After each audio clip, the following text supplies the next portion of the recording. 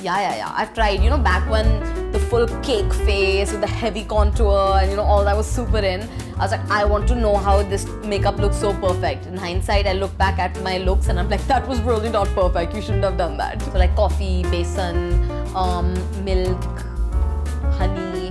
You take all those things, put it together. Some sugar if you want a little exfoliation also. So I rub that on my face and let it dry.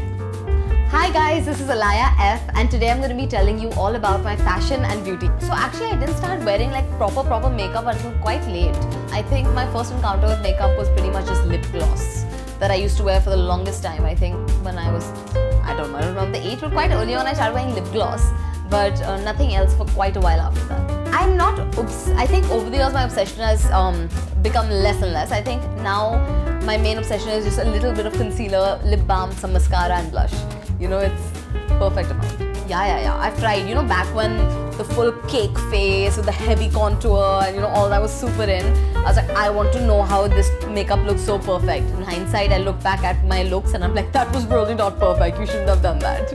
Oh my god, yes. I used to back in the day I used to do this thing where I used to do this hectic black wing liner. Okay, like really thick black wing liner with kajal and everything, and also red lips on top of that. Too much, too much. I am very bad at doing other people's makeup. You know, sometimes people look at my makeup, they're like, hey, yours looks really nice. Can you do mine? Can't. I can't even do some someone else's hair. I'm very bad at it. I can do my own. Uh, that lipstick can be quite versatile. You can make some nice eyeshadow with it, some nice blush with it, and of course some lipstick. Probably my makeup artist.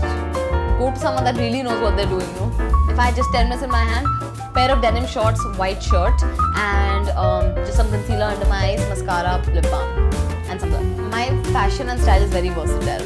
I don't really have a specific sense of style. I guess I'll discover it, or maybe I won't. And my sense of style will be that there is none. And I don't think there's any because I don't really have a specific. I think um, I have this problem when my face gets puffy. I think that's my biggest beauty-related problem. So I think caffeine face mask we just make with coffee and everything really helps.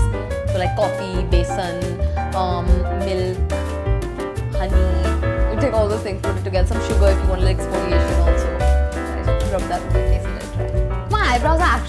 quite full, so I don't let people touch it. Um, I don't let people fill it in or do any of that because it looks too harsh. Then so mascara for sure. None, yeah. If you like it, you do it. Even if I might not personally like it, I think nothing. I think people should just do what makes them happy and what they feel best.